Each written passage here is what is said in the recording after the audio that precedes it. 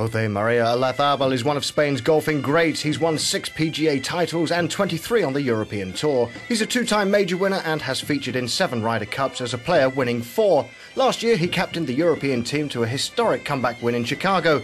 Last week, Olazabal won the Asturias Award for Sport. How do you feel about winning the Prince of Asturias Award for Sport? whose recipients include a multitude of sporting greats, but only two golfers, Seve Ballesteros and now you. A ver, me llena de orgullo, me llena de satisfacción. Um, well, I'm proud and delighted, but it's also a responsibility in the sense that I'm following in the footsteps of Seve. It is very special. It is unique in a way that not only is it based on your sporting achievements, but there are other values that count too. They take into account your personal values. Le han dado mucha importancia. Podemos decir que gran parte del éxito. We can say that the main reason you won the Prince of Asturias Award is down to the stunning triumph of the European team in the 2012 Ryder Cup. How did you achieve that historic victory on September the 30th? Para que se produjera este histórico triunfo. Bueno, las cosas que ocurrieron Well, it was all about the team, really. El equipo, ¿no? Eh, Dealing with the players, trying to get the best out of each player, believing the battle was never over trying to convince them we could still turn the tides on that Sunday. Also to convince the players that they had to play aggressively, to hunt the victory without fear. All those things eventually came together for us to win the tournament. How much of an impact did the late Seve Ballesteros have on the 2012 Ryder Cup team? Parte del triunfo no cabe duda que Fue gracias a él. Oh, part of the victory was thanks to him, no doubt. When I was preparing the team, the image and the memory of Seve was ever present. On Sunday, for example, the players were dressed in marine blue and white, Seve's favourite colours to play in on Sundays. And on top of that, we had Seve's image stitched into our shirts and jumpers, as well as the year he was born and the year in which he left us. Some players, like Justin Rose, for example, told me that whilst playing the final day, and when things were tight, the players would look at their sleeves and would see the image of Seve. And that motivated them and gave them strength to keep fighting. y, eso les motivó y les dio fuerzas para seguir luchando. Usted tiene una relación muy especial con You have a very special relationship with this tournament. Will you be working with Captain Paul McGinley in the next edition of the Ryder Cup? La Ryder? Cup, uh, como tú muy bien has dicho, eh, es un torneo. The Ryder Cup, as you have already said, is a tournament very close to my heart.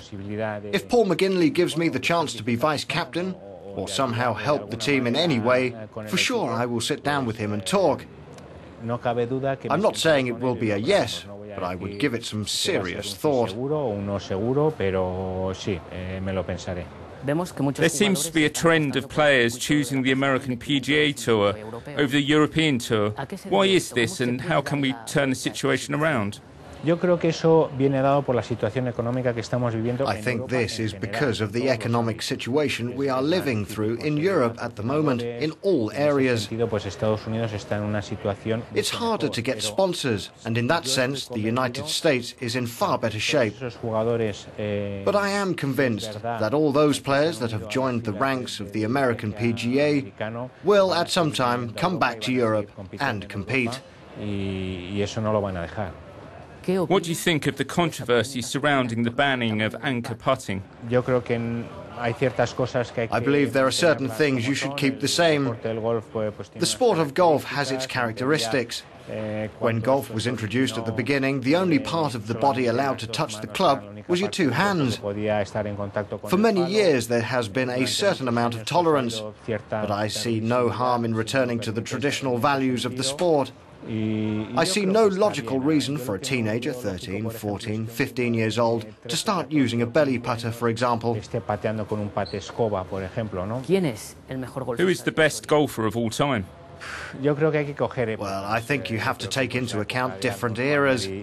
I believe that the era of Arnold Palmer and Jack Nicklaus was a great one. Tom Watson is also a contender there. While in the modern era, Tiger Woods is by far the number one, and that remains today. Times are different, the courses are different, the materials are different, and it would be unfair to choose a particular player. Jack Nicklaus has won the most amount of major titles, but do you think Tiger Woods can do better? When people said that Tiger Woods would never be the same, I've always stayed true to what my gut tells me. When I've played with him, he's physically in great shape, like an athlete. But his greatest strength is in his head, his mind. And that has not changed. That's why I've always said that Tiger will win more majors. I don't know if he'll get the four or five he needs to beat Nicklaus, but I'm convinced that it will be very close pero estoy convencido que va a estar muy cerca. How long do you think we will have to wait to see another Spanish golfing great? No es fácil, no es fácil. Eh, it's not easy, it's not easy. It is true that we have experienced very good years, golden years. I think Sergio Garcia has enough potential and enough features to become a great player, and I'm convinced that sooner or later it will happen. He still has many years ahead of him, and he's our best asset. When the results aren't going your way and you start to struggle to retain your tour card. Will you think about retirement? Like everything in life, things begin and end.